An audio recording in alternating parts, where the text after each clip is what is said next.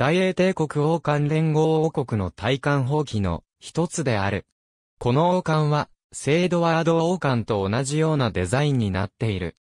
交互に配置された4個のクロスパティと4個のフルールド、リスを基調とし、その上に4本のハーフアーチが十字に掛け渡されている。内側は、白天の毛皮で縁取ったベルベット棒になっている。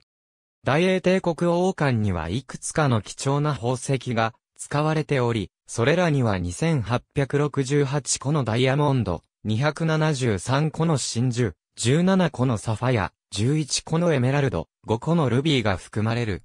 この王冠には、いくつかの有名な宝石が使われている。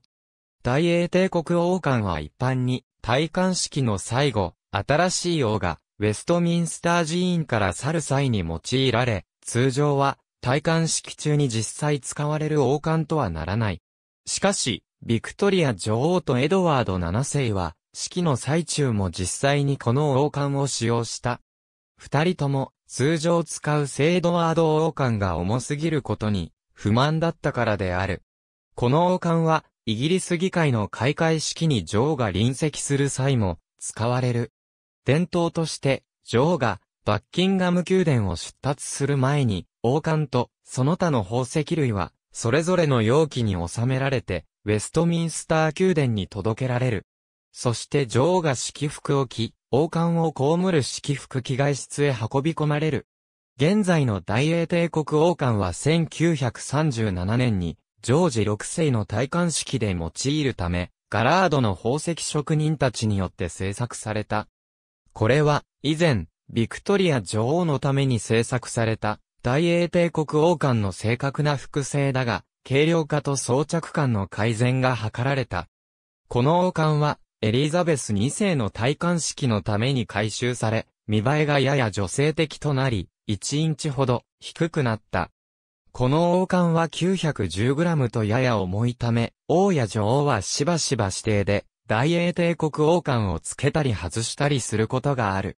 イギリス議会開会式における演説のための2時間の臨席に備え、そうして重さと装着感に慣れておくのである。ある事情によると、議会開会式の朝に、エリザベス2世女王はこの王冠をつけたまま朝食を取り、新聞を読んでいたそうである。議会開会式で使われている時を除けば、この大英帝国王冠は、その他のイギリス王室細具と共に、ロンドン島の宝物館で見られるかもしれない。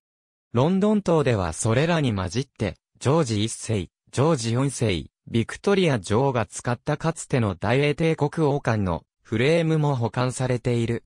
最も頻繁に使用される王冠として、大英帝国王冠はしばしば新しいものに取り替えられる。理由としては経年によるもの、重さによるもの、王や女王の思考によるもの、使用に伴う、避けがたい痛みによるもの、が挙げられる。その使用頻度から、外観の修繕と改修が最も必要とされる、王冠でもある。ありがとうございます。